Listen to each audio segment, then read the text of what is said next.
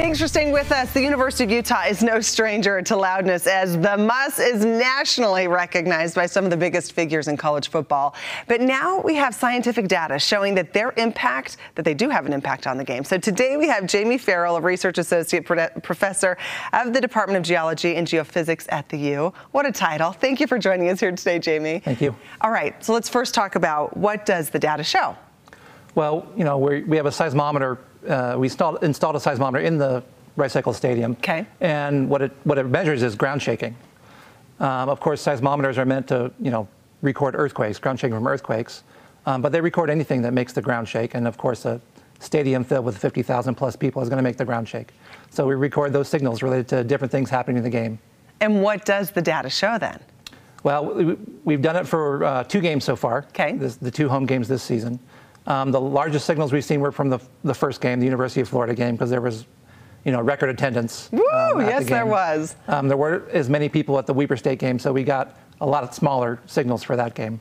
And can you compare? Okay, is this what we're looking at, Jamie? Mm-hmm. We're kind of far away, but if you can read that, yeah, third so down, yeah, go through and kind of tell us what we're seeing. So these are different signals. These are mainly from the Florida game. Okay. Um, so we can see things like, uh, so this one's showing like the first touchdown pass that, that the Utes scored on the very first play of their offensive game. Yes. And, um, and you can see different things. Um, when the biggest signal we actually see from the game, both games so far, has been when the Utes run out of the tunnel at the very beginning Ooh. of the game.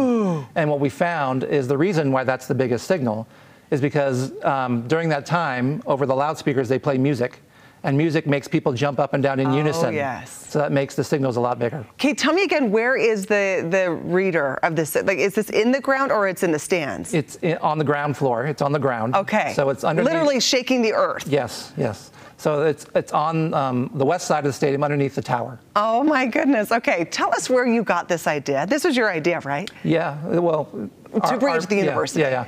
I mean, it's been done at other stadiums before. Um, you know, the most famous one is uh, in Seattle um, during a Seattle Seahawks game. Um, during a touchdown, they call it the beast, the beast quake. and that's sense. really the first time where um, you know this idea of using uh, urban seismometers to record ground shaking related to this kind of stuff happened. And then um, just earlier in the year, there's been some at the same stadium. They recorded signals related to a Taylor Swift concert at the same stadium. Oh wow! So we thought this would just be like a fun project to do. Um, of course, you know, our, our main goal at the University of Utah seismograph stations is to um, locate and uh, report earthquakes that happened in the right. Utah region.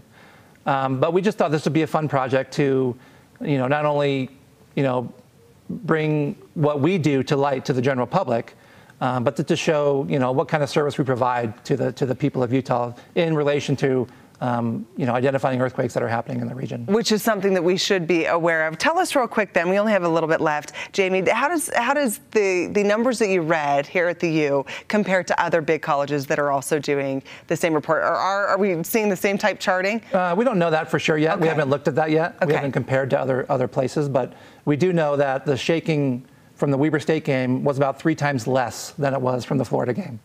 And um, you know, we have a, some pictures on our website that we've made for this project that show you can see the same signals and just due to less people in the stands that's yes. why the shaking is less and can you put it into a like type of earthquake a, a percentage of an earthquake or not at that not at this not point? right now i mean it's okay. important to know that these are not earthquakes these no, are ground shaking no. from the stadium shaking um, and you know it turns out it's really hard to you know, uh, calculate an earthquake from something that's not an earthquake. Okay, so you can't compare. So like the stadium is almost like a 2.0 earthquake. We have another seismometer on campus that's about a half a mile from here. Okay. And that station has been running for a long time, and it recorded the 5.7 earthquake back in 2020. Right. So we could compare those signals, the signals that that's recording from the stadium versus the okay. other earthquake. Well, that's just maybe an idea. I'd be curious to see how they compare. Thank you so much. Is this a permanent thing? And then we'll have it'll be there out. this season. It's not permanent, but it'll okay. be there the whole season this Throughout year. the season, we'll yeah. have to check in again and see if we can do any comparisons. And thank you so much again for your time here today.